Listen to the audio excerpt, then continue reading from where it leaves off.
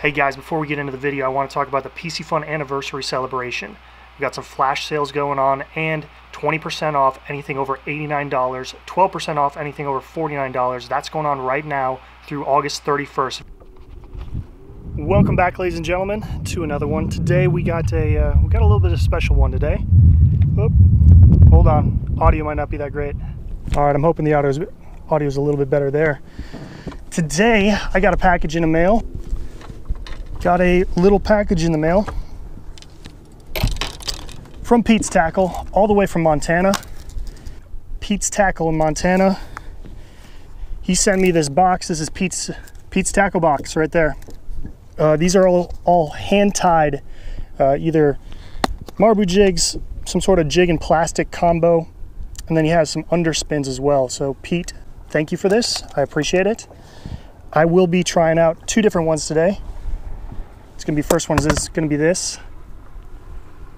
Little pink and white. So let's tie that on and get to uh, get to fishing.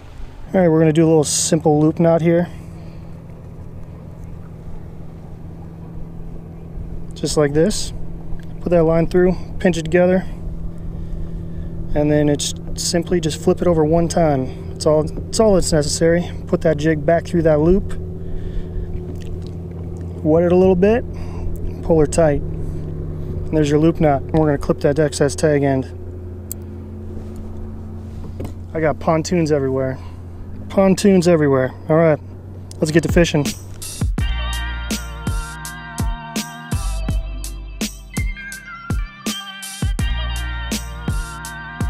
A very small school. Here comes.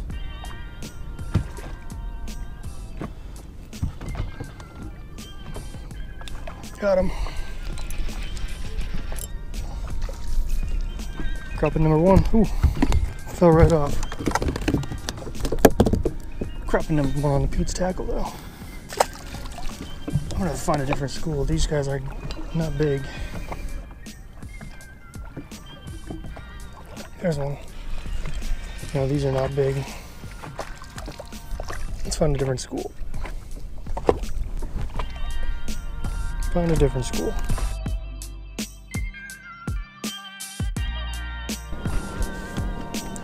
All right, well, we found a school, definitely deeper than I wanted. Yeah, wait till that thing spins back. They're real tight to a brush pile. 19, 20 feet of water, sorry, right there. 19, 20 feet of water.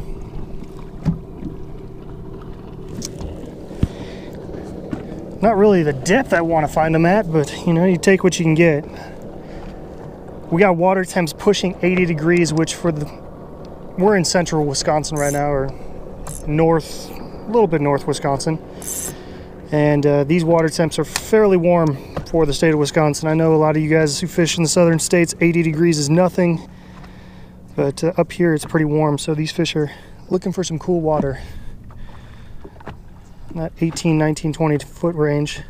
Drop this thing down there. See if we can catch one of these guys. I have to say that spot lock feature is absolutely amazing. I don't know how I fished without it. Well, the next brush pile 30 feet ahead of me is loaded too. This crappie are stacked deep. Oh, there's one. Light bites today. Light bites. Crappie number three today. This guy's a dink. Let's push up a little bit. There's a brush pile with a ton more on them. Let's see if we can find some of those uh, 10, 11 inch fish. This lake has got a ton of cookie cutter 10 inchers, which taste great, but uh, they're not going to be wall hangers so which is fine for today. Yep there he was. Plucking him off from about 15 feet down. Oh no. Threw my jig. Another Dinkleton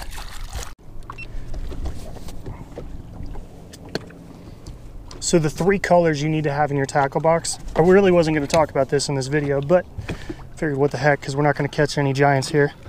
The three colors that will work on any lake and the combination of these colors. White, pink, and chartreuse. As long as you have those three base colors and then a combination of something else along with those, chartreuse, white, and pink. As long as you have those three, you can get a crappie to bite on pretty much any lake or river. And if you notice in Pete's tackle box, got quite a few of them in that color, that fit that color pattern. These crappie are deep for this time of year. This is like fall fishing. I'm right on this outside point. Well, let me see, I'll pull it up on the map. All right, I don't know if you can see this, but there's this outside point. Here's a sharp break line. This is all rock coming out here, a little off. Oh, hold on, I got a fish on. It's a little off there.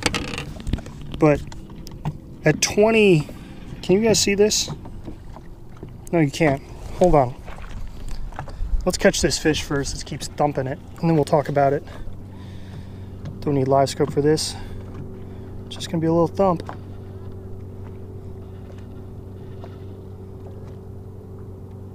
Oh.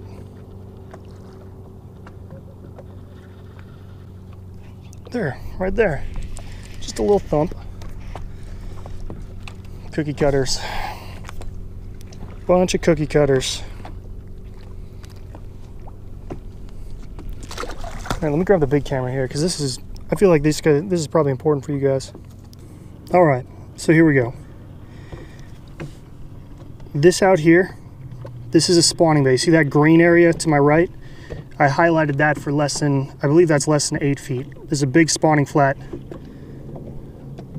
off to my right here. There's this point that comes out, underwater point that comes off like this, and there they drop brush piles on the end of this point. Normally, during the fall season, this is where a lot of times they'll stack up. But I think because the water temps are so warm, and again, 80 degrees for Wisconsin, Minnesota, that's pretty darn warm. Uh, we usually don't get that 85. I know a lot of states get that 85 to 90 plus degrees for water temp. We don't get that, that warm temp up here. At least it doesn't hold there for very long. So these crappie aren't used to that warm water, so they're gonna tuck down a little bit deeper, and that's where I've been finding them. They're really not, I mean, this is the best school I can find. The other schools have really not been schooled up too tight, but this is actually a pretty good school on the, uh, on the Panoptix here. As soon as that, yeah, there they are. Yeah, they're right there. Schooled up pretty darn tight. So, but that's where I'm finding them, this deeper outer edge that normally I wouldn't find them until fall. Usually like late September, October, and those water temps start to plummet. This is where I'm gonna start to find them before mid-October. They're gonna push off a little bit deeper to that hard to soft bottom transition. But uh, they're here, so got a fish for them. Let's see if we can, see how many we can catch off this, this little pile here. I respect all you guys that hand tie your stuff. Like hand tied hackle jigs and hair jigs and stuff like this. Man, I got a lot of respect for you guys that do that. It takes a lot of time and effort, I know. I've attempted it. I'm not gonna make a video on it because it did not turn out very good, but. All right, now we're rolling on that one. Gotta make sure I'm recording on all of them. Rookie on YouTube here. Dump. Yup. You know, sometimes just sitting up on these brush piles, even though these fish aren't that big, I mean, these are a bunch of 9, 10 inch cookie cutters. Still a ton of fun to catch. Ton of fun to catch. No minnows, no plastics, just a simple hackle jig. I'm actually gonna tie on a couple different ones, see what we can get to bite. They could be super hungry and just biting everything right now. Oh, there he is.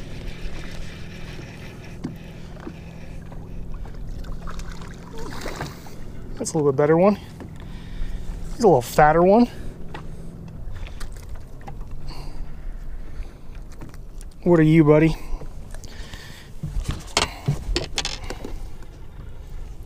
Ten and a half.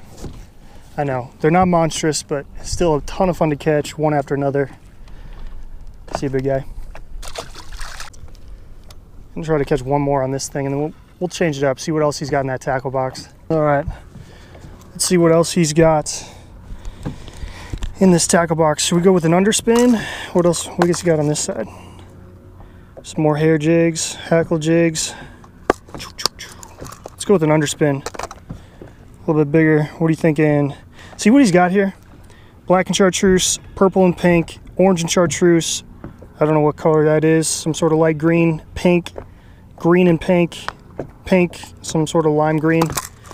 Like the pink, white, and chartreuse are just kind of those base colors that they work everywhere. So as long as you have those in your tackle box, you should be set. Okay, definitely different situations uh, call for different things. Like you might need a little golden orange thing here. It's pretty much the only one that you got different. This golden orange setup. But uh, for the most part, those three those three colors, they'll do it for you.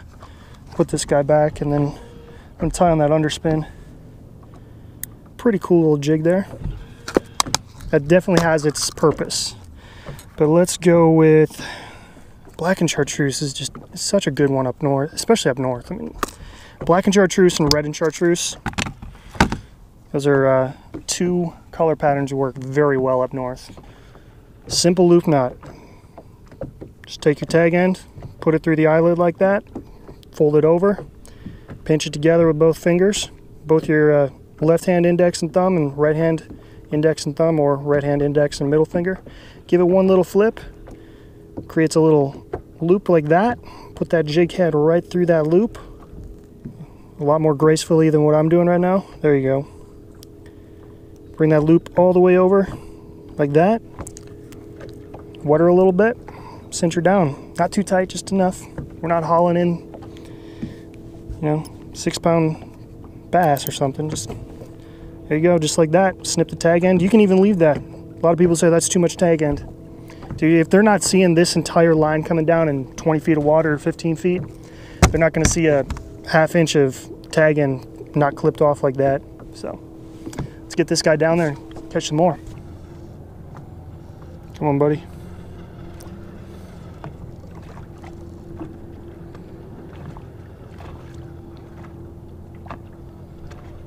There he is. There he is.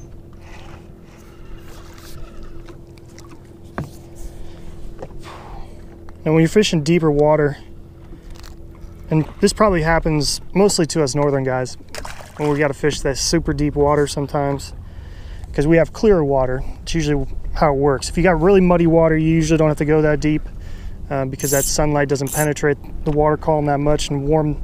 It stays cooler, shallower. So um, but when you are fishing this deeper water, holding that 10 or 11 or 12 footer, really not necessary. You're not gonna scare these fish. So I go with the eight footer. It's a simple uh, eight foot ACC. It's a great hybrid for casting smaller jigs, vertically jigging like I'm doing right now, and then slip bobber setups. There's one. There's one.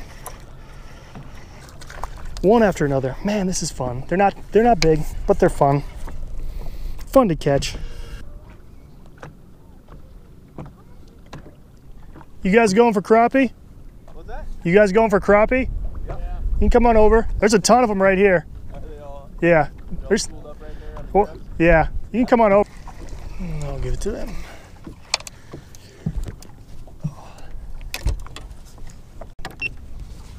All right. Gave those kids a honey hole there it's more important they catch them than me catching them. Besides, there's a there's a few different spots we can catch them here, like right here. Bam! There's not a ton of them, but uh, there are there's some fish. They're not big. Dang, they're not big. But uh, it's more important those kids have a ton of fun catching a bunch of fish than me. I know how to catch a fish. Some days. Some days. They're tapping it, but they're not biting it like the pink jig. Let's tie that on. Quit wasting time. Mm, this is the one we had on. By the way, these are the cases.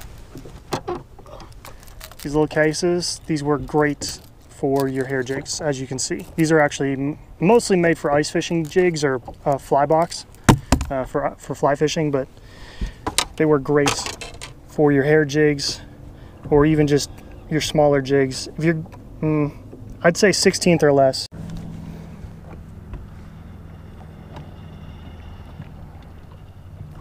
There's one. There we go.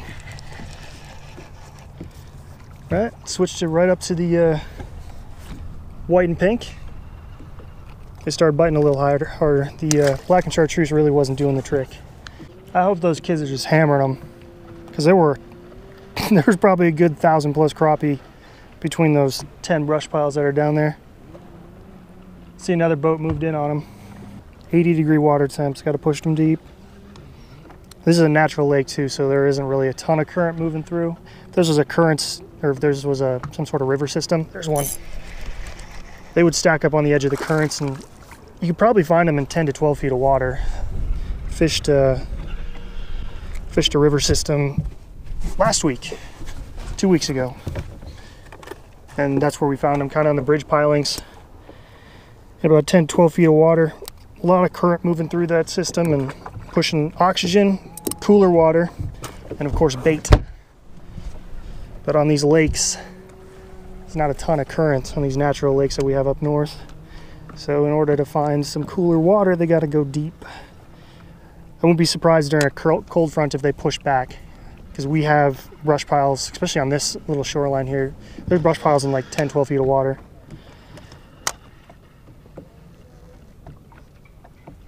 There's one. Slam the hook on him. I better keep that pliers out because now they're starting to hit it right on the drop. They're starting to fly up that water column and smoke it right on the drop. They're choking it down. You go.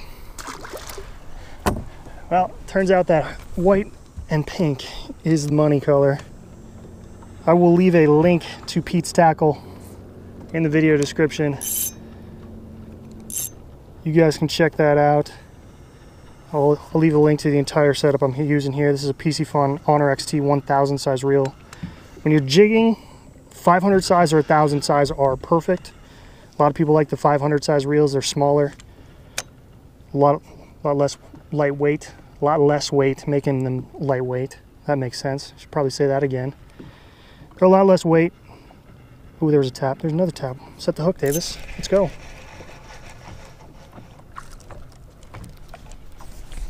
Yep. White and pink is the color of the day. Check out Pete's Tackle with Pete's Tackle Box. There you go. Pete's Tackle Box. Go ahead, catch you some crappie. See you, buddy.